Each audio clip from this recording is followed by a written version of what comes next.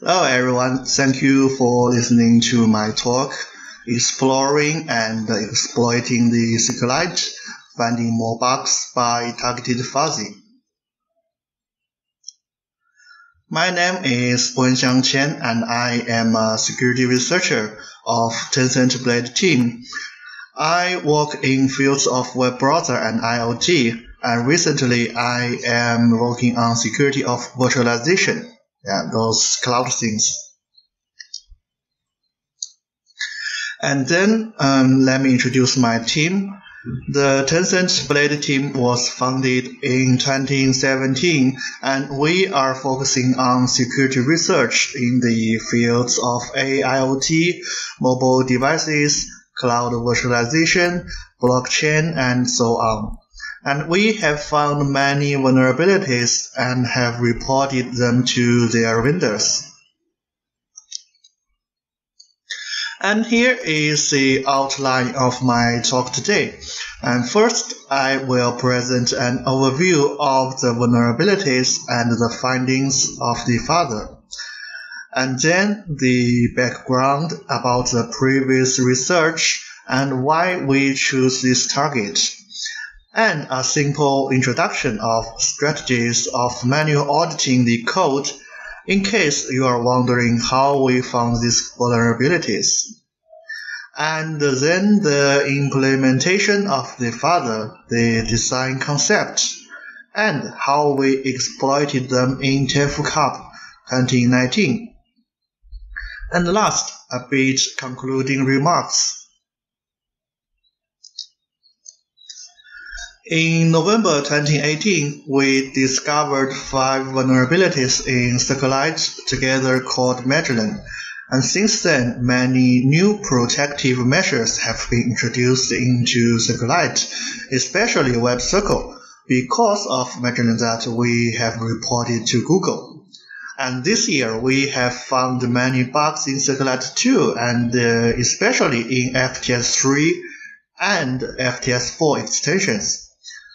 Three of them can chain together. The first one, the 13750N, this is um, this one can bypass the defense in depth.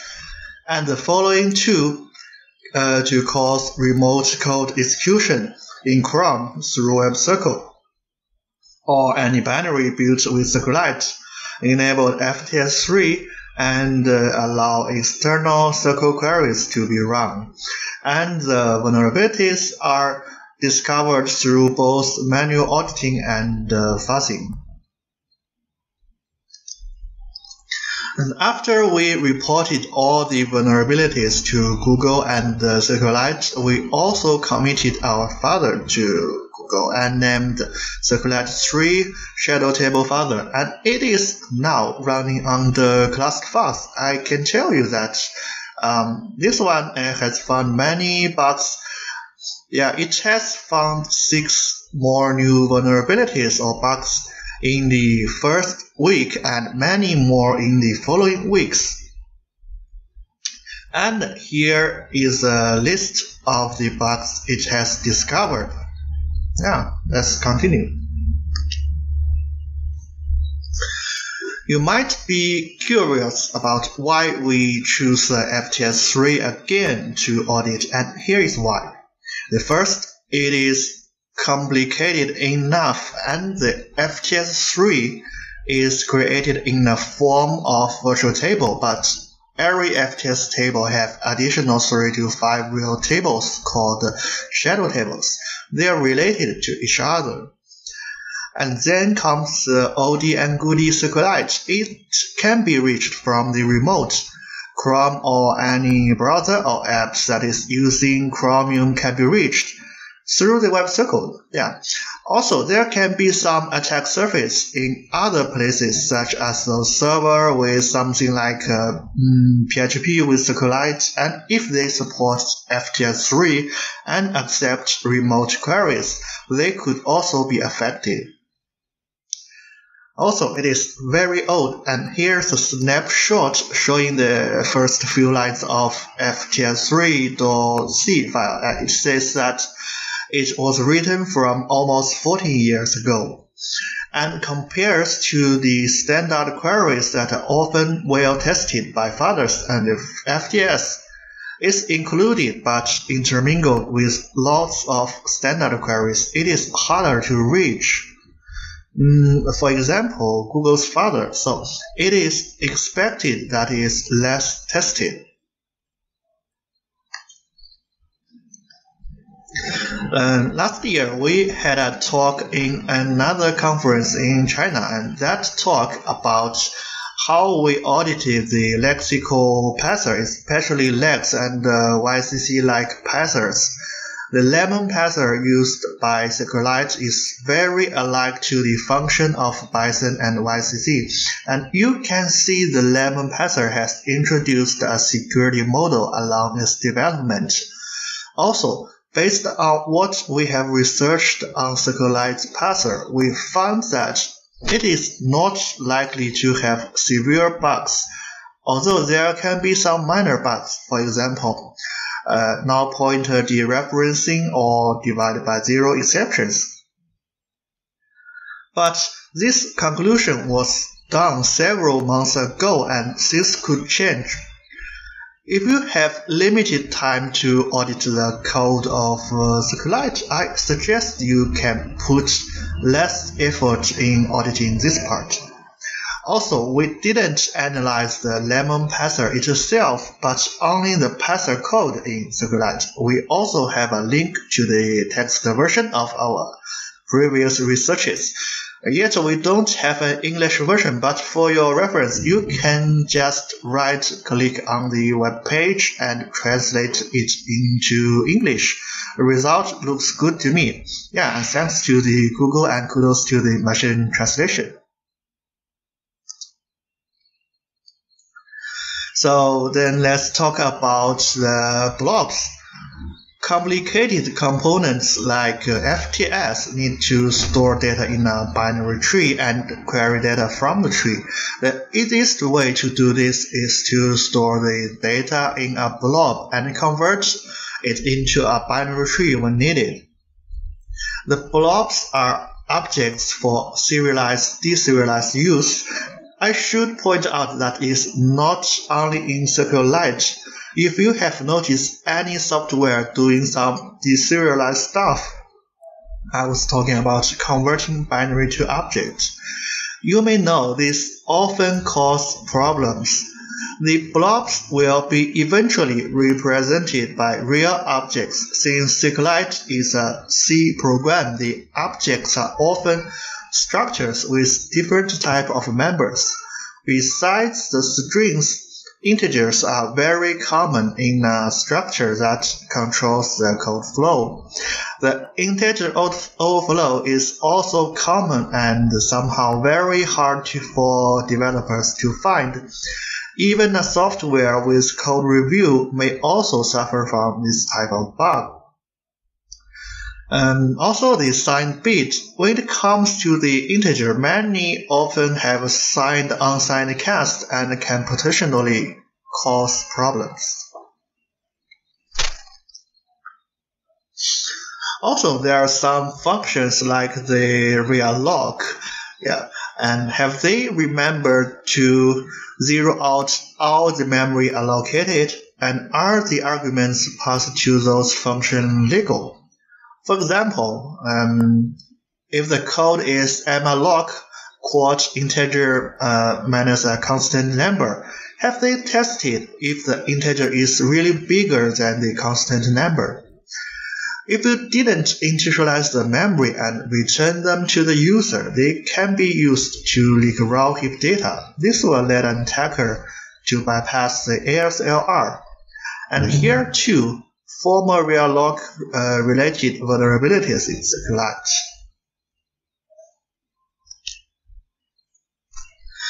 Then I think we should always pay attention to some functions that is not designed for daily use, such as performance tracing, um, debugging, logging, all those functions. They provide external API-like calls, but they are not even listed on the wiki. Yeah, people barely know their existence, so that is evil obviously, because that often means they are lack of testing. For example, spatial insert operators can be used to issue commands to FTS3 and FTS4 tables.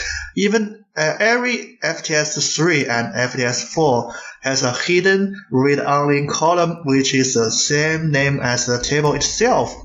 So inserts into this hidden column are interpreted as the commands to the FTS3 or 4 table. Okay, let's choose some interesting commands. The optimize command causes FTS3 or 4 to merge together all of its inverted index B trees into one large and complete B tree.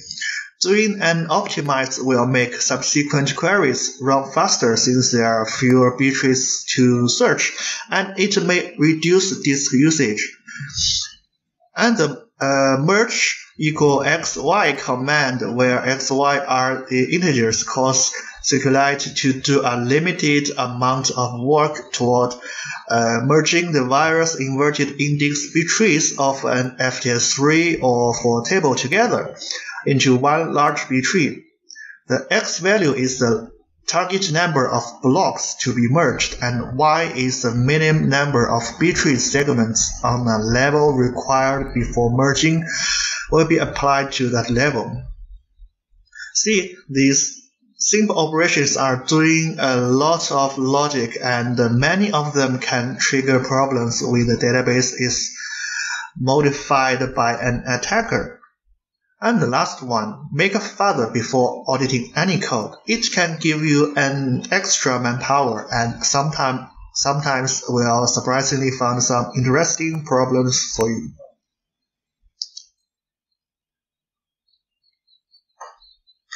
In case you haven't heard of uh, shadow tables, I will uh, explain it here. The FTS3 virtual table implementation make use of real, which is non-virtual database tables to store content.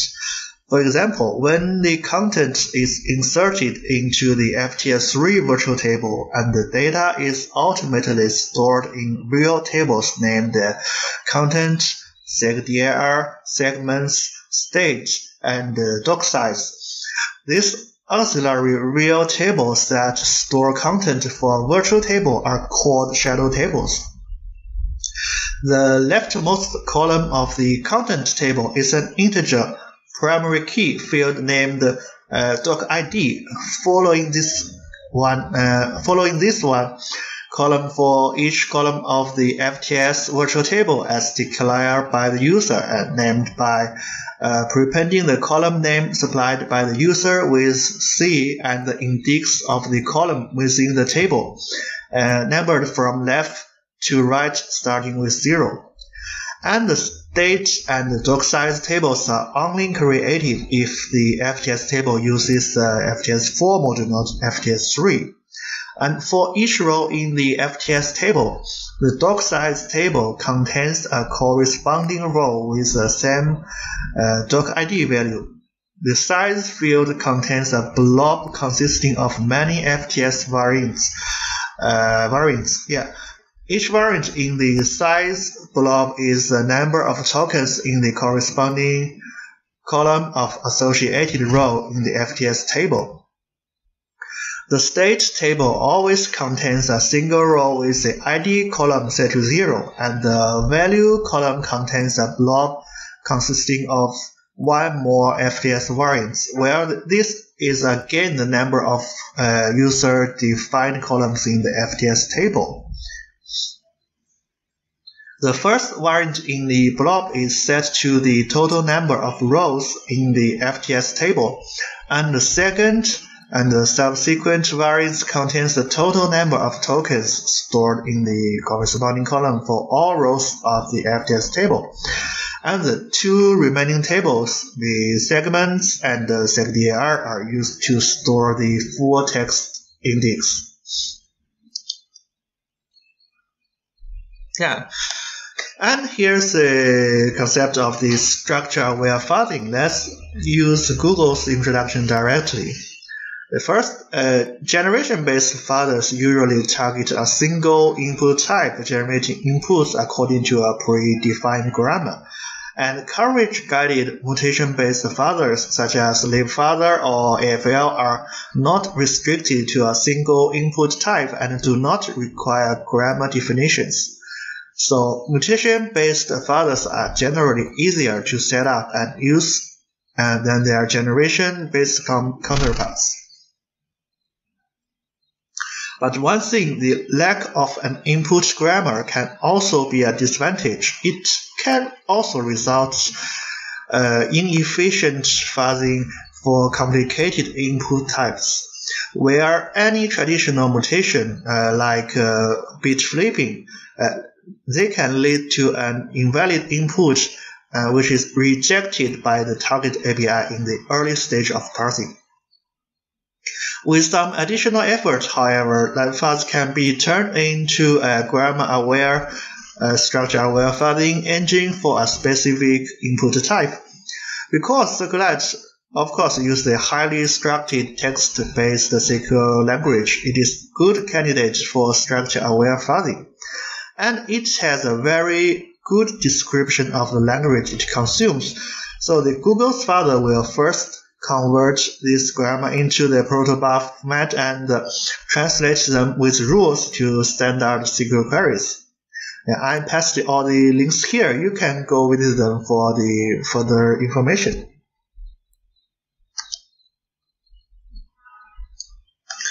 So let's begin from making my father. We can see the classifiers are contributing many discoveries and improve the security level a lot, but individual, individual researchers usually don't have that many computers. So an important way to find security problems quickly is to optimize the fuzzing code.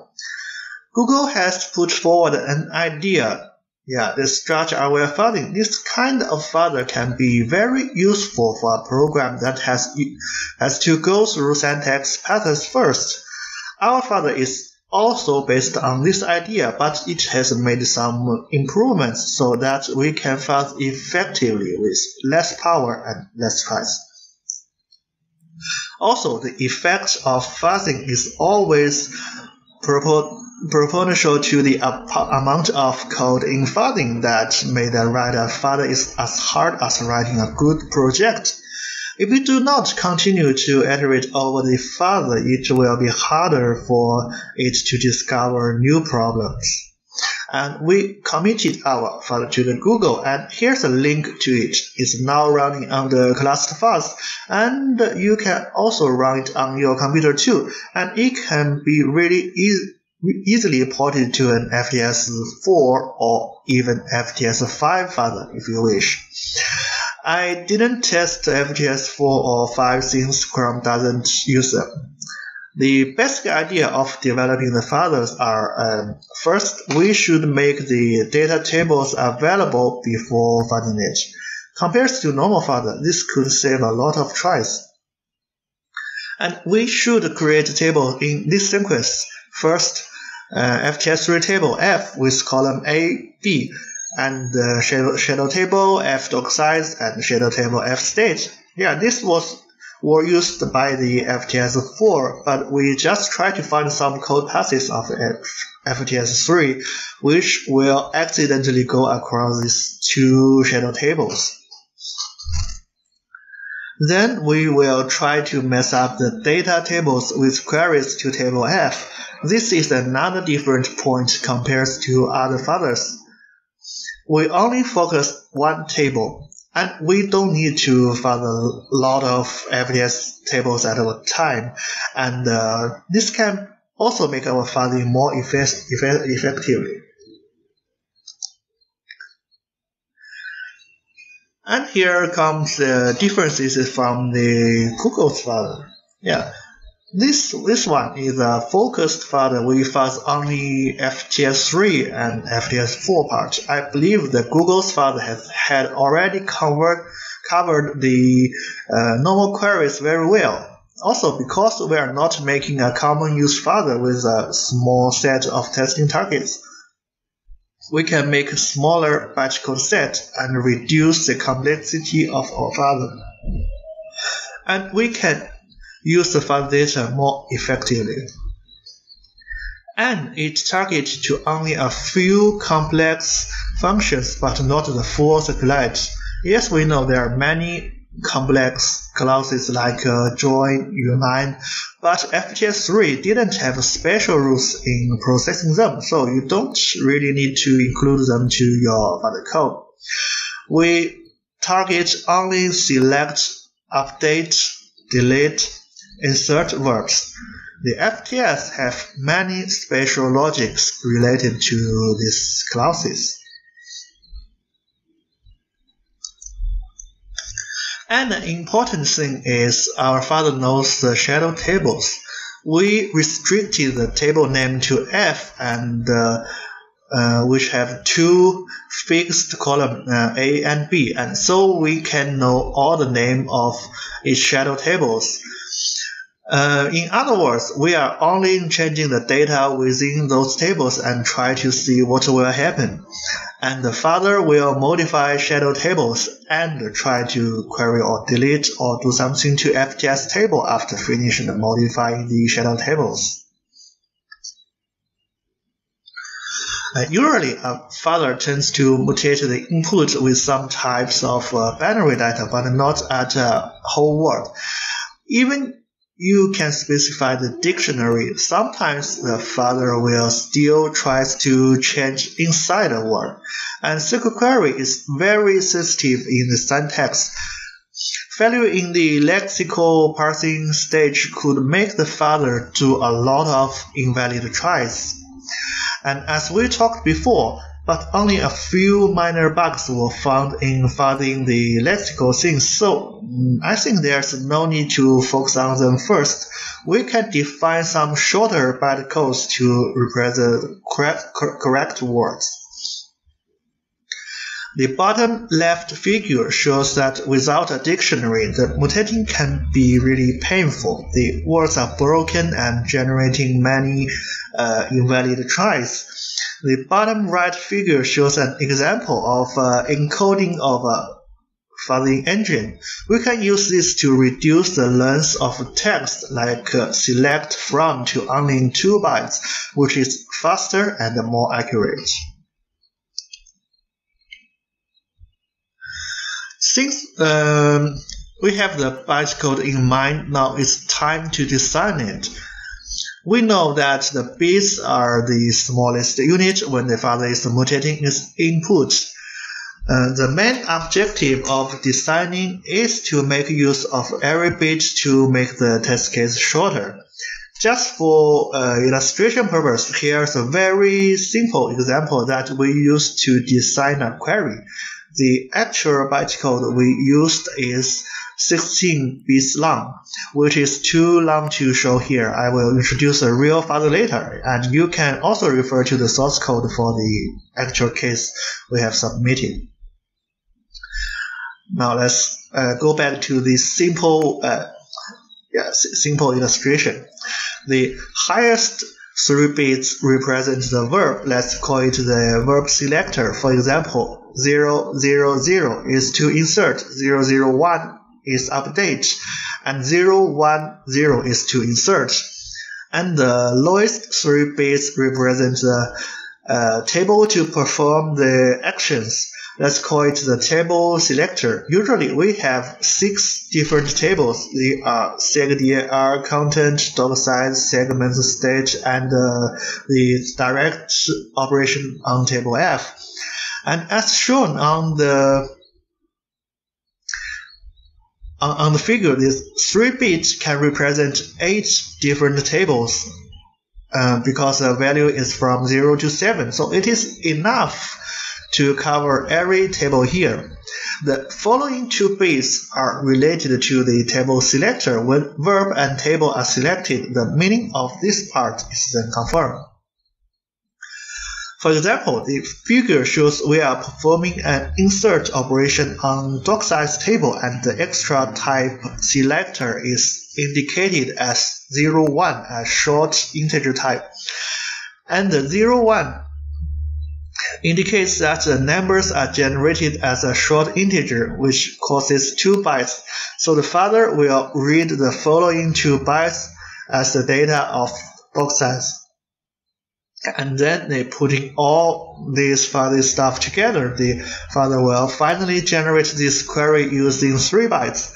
Insert into f dot size values uh, 0x123. Okay, um, after you have defined all the logic of fuzzing, here's another tip to make your coding uh, work easier. Sometimes we need raw data from the mutate engine, such as uh, raw strings, integers, and other simple types. We can also define a raw bytecode to represent a symbol type. For example, you can define FF yeah, with length and size of raw data. When translating raw string, you can also use the X notation to avoid all the annoying um, encoding problems like uh, apostrophe and double quotation marks. And here is an example of the corpus generated by the father. And this is also the first vulnerability found by this father. And the test case is only in 10 bytes after minimize. The first two queries are uh, directly creating an FTS table and set an extra state shadow tables to it and the following two queries were generated from 10-byte shellcodes, and after translation, four readable queries will be run in the SQLite. I didn't post the bytecode here because I have updated the father several times and the definition of some bytes has already changed. Um, but don't worry, let me introduce how it was translated.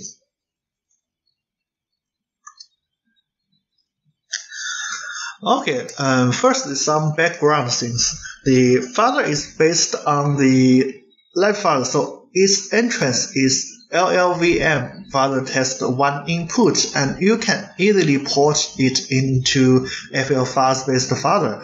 And to cooperate with Google's coding practice, the father is using Google's data provider. You will have never read the uh, related code. And here's a simple tip and in my father, I only used two functions from it. They are first, consume integral. This function allows you to specify a type and it will read corresponding bytes from the first input. And the second, consume integral in range, which almost the same as above. It can limit the range of the value in this example, the return value will be no greater than 7 and no smaller, smaller than 0.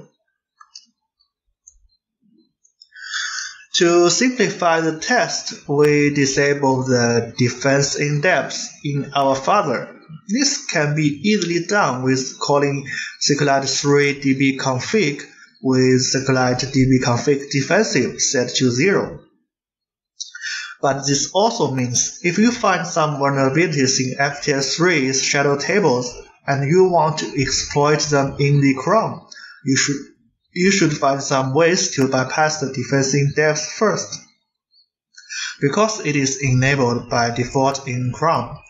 And when you started fuzzing, the first thing to do is always clean up the environment, drop everything that may interrupt the sorry, drop everything that may interrupt the test.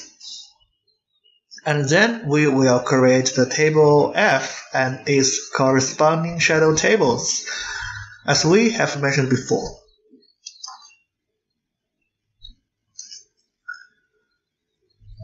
I have updated the file uh, several times, and one of the new functions I have added is uh, tokenizer see. The father is uh, try to read a byte to, from a data provider and then select different tokenizer. An FTS tokenizer is a set of rules for extracting terms from a document or basic FTS full text query, unless a specific tokenizer is specified as a part of the create virtual table statement uh, used to create the FTS table. The default, default tokenizer simple is used. The tokenizer often used with match operation. Different tokenizer can have different match rules. For example, the Porter will reduce a word by the Porter-Steamer algorithm. Yeah, it can match different words. For example, uh, if you try to match a word ported um, in a text, it can also match the word port because because they have the same prefix. But this is not the key point of our father, so today I will jump over this part and show you how the father processes the bytecodes.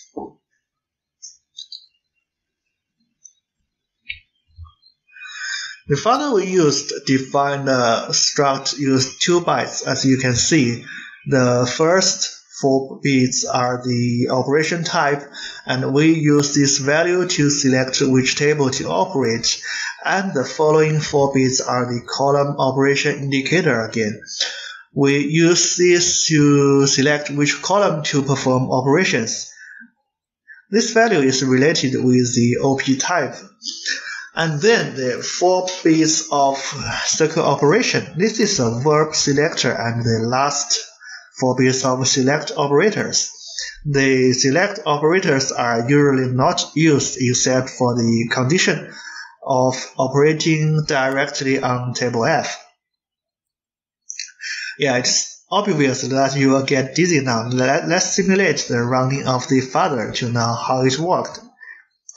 Um, please remember, not all members will be used in some situation. Here I will show you a simple translation that will use only OP type and OP circle operation. Okay, let's take this example to see how the father translates OP code to queries.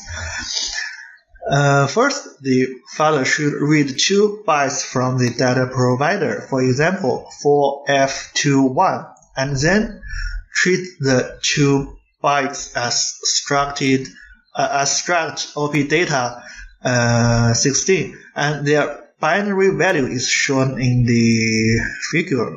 Okay, let's put them in the struct and the value of each member is now clear. Okay, you don't need to remember this. Let's continue to move, move to the code processing part. There are five valid OP types representing um, five different shadow tables. The segdir is 0, a content is 1, and so on.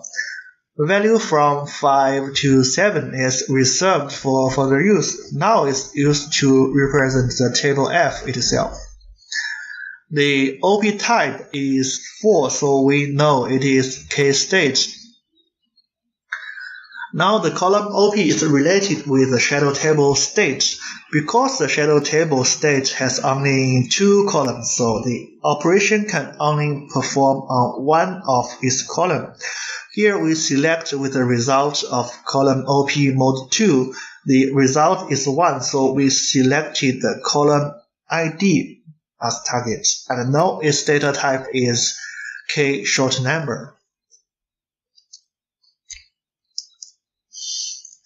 Then is time for the OP circle operation. This 4 bits member decides the action to be taken on selected table and columns. The shadow table, segdir, and content has different column types, so they should be treated separately here. And other shadow tables has the same type. The first one is a number, and the second column is a block. Yeah, they are, they are the same, but just by coincidence. The definition of each shadow tables is are, li are listed in the left, and the content shadow table is most special one. It has one more column than, than, uh, than the FTS4 table. But since we have fixed the definition of table F, and the table F have two columns, so F contents will be three columns. Yes, one, one, uh, one, one column more than uh, the original table.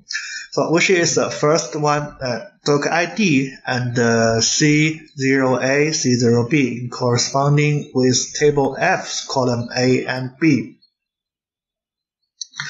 Okay, let's back to the shadow table state. Because it has two columns, so here we will call get value by type two times and generate SQL queries from the data provider.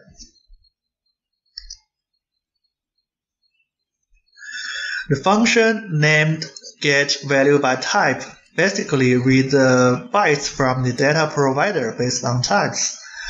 If the value is a short number, this one will read one byte from the data provider and put it into the output stream.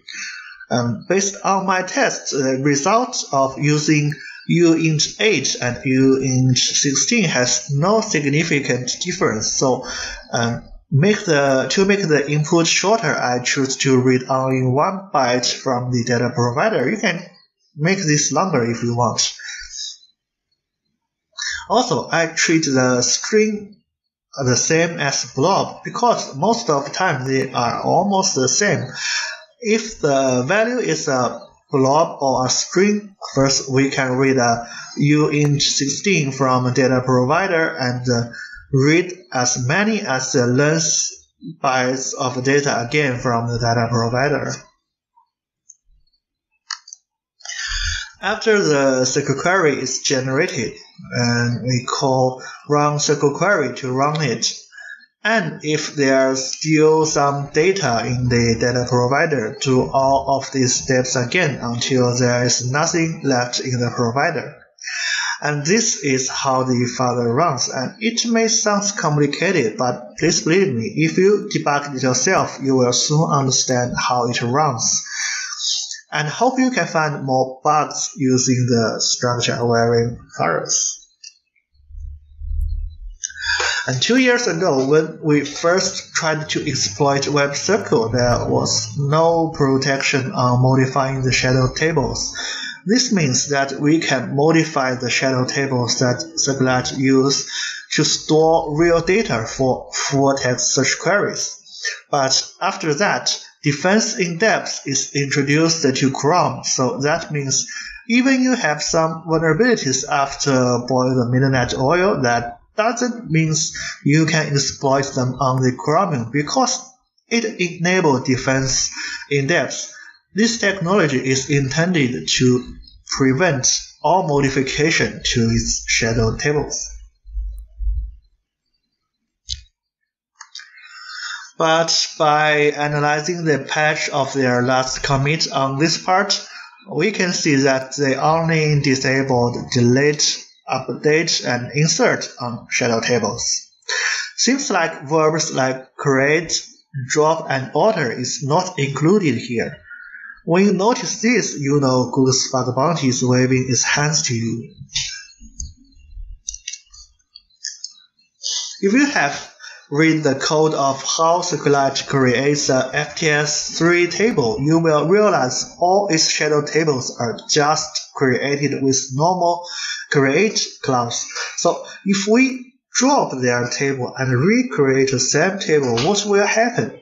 Nothing, because it is using select on them when trying to obtain blob data from those shadow tables.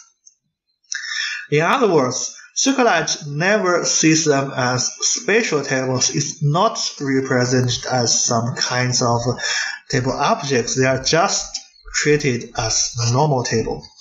So we can create some fake, fake shadow tables and write malicious data into the fake tables that drop the legal shadow table of, of an FTS table. Then we can alter these fake tables to the same shadow table name with a FTS table uh, that, that, uh, that was used by an FTS table.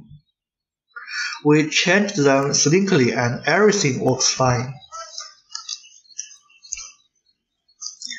And here is another vulnerability that was found during manual auditing. We are very curious about the realloc since usually every program it has relation, relations to many uh, memory problems. Specifically, uh, in some programs that don't check this return uh, that doesn't check the uh, return value very well. Also, realloc doesn't automatically set the reallocated memory to zero, which means if something like a structure with function pointers or pointers to static or global variables were stored in the memory, after the structure is freed, realloc may allocate new memory at that position. Without initializing the memory, we can get the old pointers that was stored in it. Here, the function tries to double the buffer z term each time without setting it to zero. The only way to initialize it is a memory copy.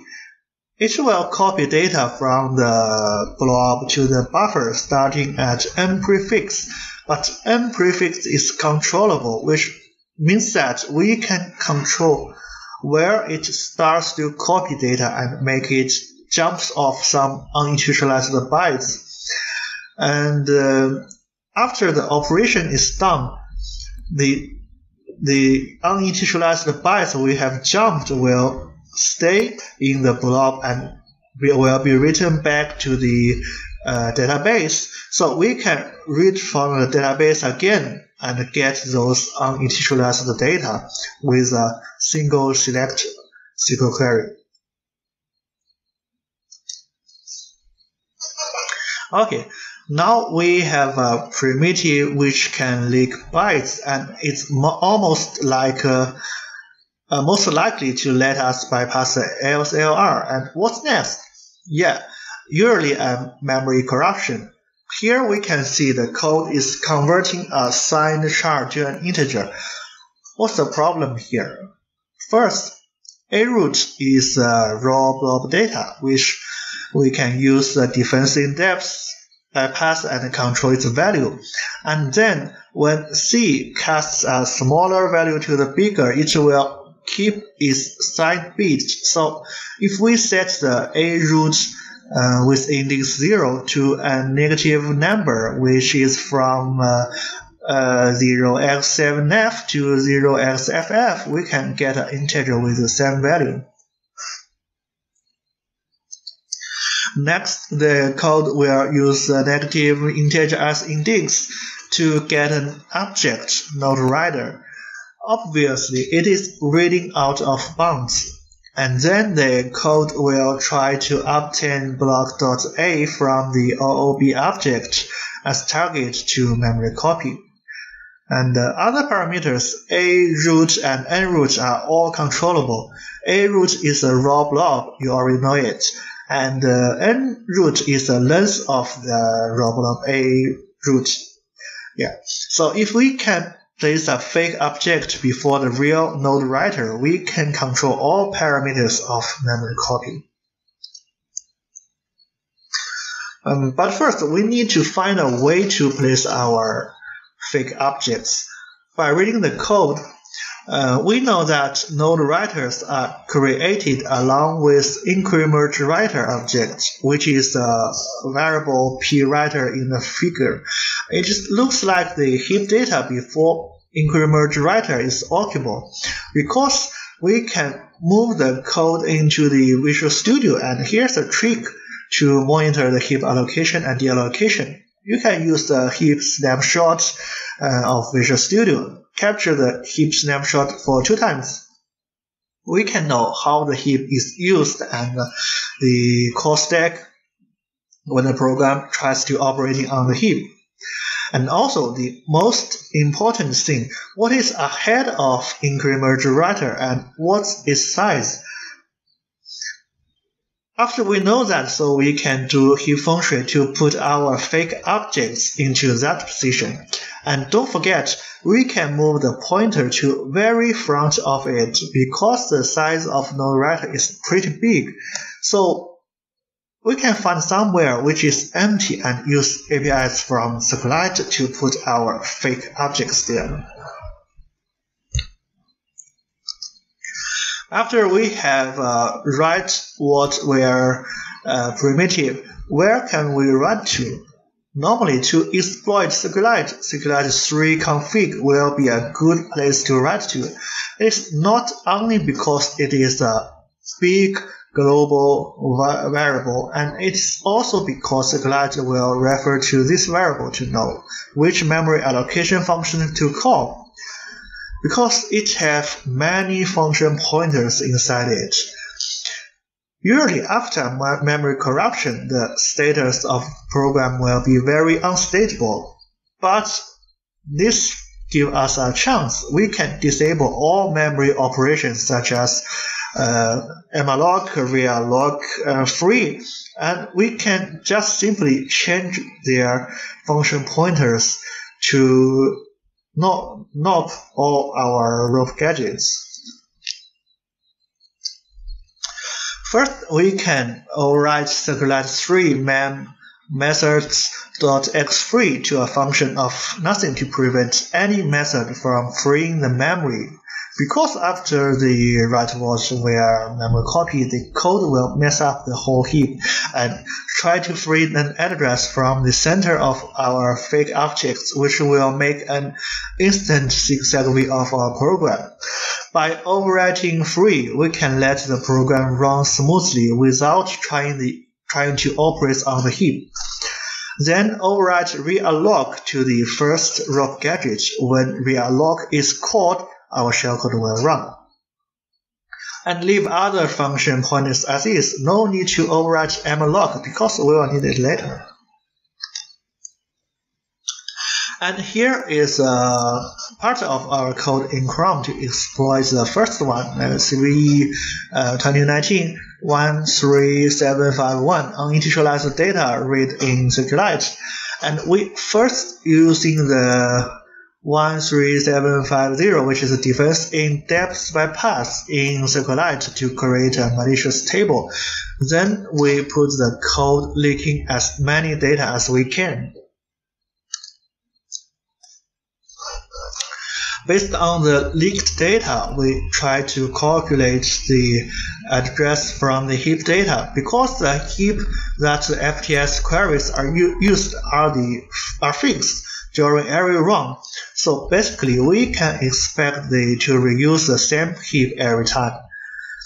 The heap will contain some old function pointers uh, like the uh, VF table or page stress of SQLite 3, which is used by other functions before.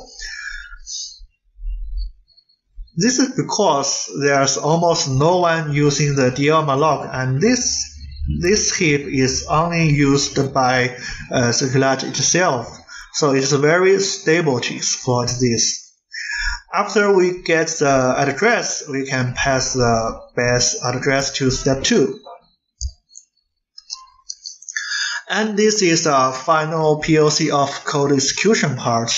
The base address of function exploit is to get from the previous step. And we first set the malicious data uh, into into the FTS table, and then we try to create hotspot on heap and place the fake objects there. Uh, in the for loop, you can you can you can see. Uh, we call the select uh, replace replace hex zero blob many times. This will create a hotspot for, for us to uh, put our fake objects there. And the last one, after merge equal 1, 2, the vulnerability is triggered.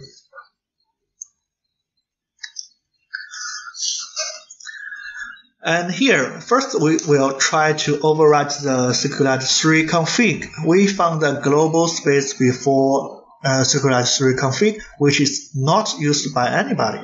We put the rope gadgets there and we will override SQLite 3 config also. So I got a snapshot of uh, normally how does it look like in Chrome and then set the data to the same value as the normal time. The only thing is I need to modify is uh, SQLite 3 memfree and SQLite 3 realloc and xinit x shutdown. Uh, the xinit and x shutdown uh, are two function pointers. Um, they accept one parameter, but normally no one will call it, so it is okay to set them to other value. I overwrote the SQLite 3 memory free to assembly return, so it will literally do nothing. And the realloc uh, points to xinit. xinit and xshutdown points to the first rope gadget. You know that re, uh, realloc take two parameters, and RCX is the heap address, and RDX is the required size.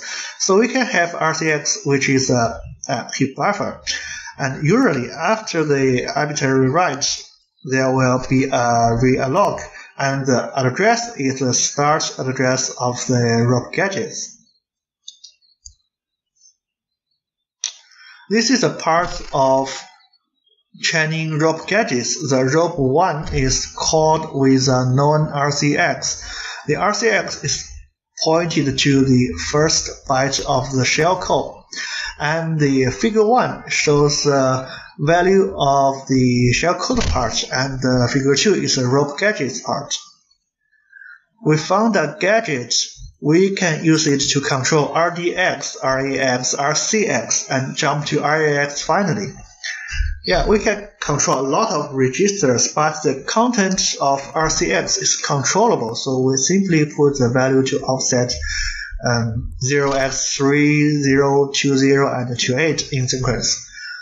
The RAX should point to uh, rope gadget 2. The rope gadget Gadget 2 store the current RSP value so we can restore it back to correct value after the exploitation. The rope 3 is a stack pivot. The rope 10 will jump to virtual protect to set the global data to RWX. Then we can run our shellcode. We have a bunch of knobs here because the virtual protect will write something back to the stack. So this this this buffer can prevent it um, destroying our stack. And after the loop area here, we try to call the virtual protect again to set the code page of global read-only zone to writable. After that, we can modify a read-only string navigator.appName we changed it and uh, set the value of it to Punscape to show that our exploit has succeeded. Yeah. Also, um, we need to restore the stack pointer after this step we subtracted stored the RSP and restored it into correct value. So everything is rewind to the time before we exploited it. And since program are expecting this to be a realloc, uh, but we are not doing anything related to the memory, so we must return fail now to make the program think that there's some memory problem and uh, tries to give up its operation. This can stabilize the problem. Uh, sorry, this can stabilize the program. And once our shellcode is run, we don't need to get into here another time. So we can set realloc to another code pattern that's always return fail. And the web page will not crash and JavaScript can still run as usual. Everything is fine except the WebCircle in this tab cannot work properly. Normally, the bypass of ASLR is almost 100% of uh, success, and the success rate for the second step, the code execution, is about 16% per try. And uh, here's a small tip: if you want to increase the su success rate, you can use the iframe to visit a lot of exploit pages, uh, which are located in different domains. So, uh, Chrome will ha- have different process uh, with each iframe. And we only tried once in the TF Cup uh, 2019 and the result is succeeded. Yeah, and that's all for the exploitation part.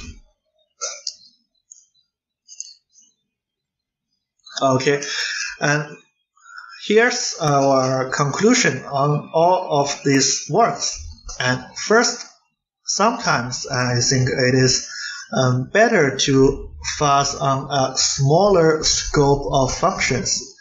The common use fuzzer can save a lot of time in programming, but it will take more time to test a specific area.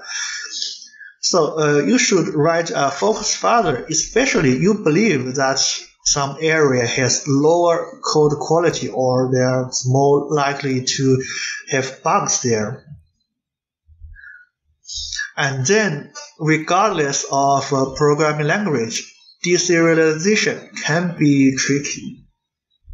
That's because deserialization often have external data from users at the input and then convert convert the input to an object but it is very hard for the programmer to uh, test all the unexpected conditions. So you should pay more attention here when you um, auditing the code or you are testing the uh, program.